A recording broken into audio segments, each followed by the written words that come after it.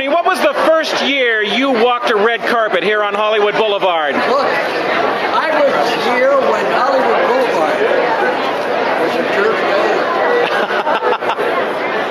And Dirt road. and now you're here for the Muppets. I, I did all the silent pictures. My pal the King. Or my And, and one quick film history question. What did you ever do with Mickey McGuire? I made 90 of those. I have them now. I'm trying to get them to distribute. Okay. Well, thanks so much for coming out here for the Muppets today.